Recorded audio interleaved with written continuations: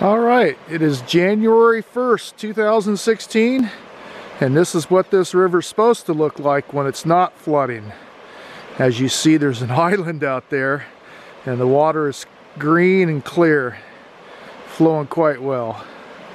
And there you have it. Hope it stays this way.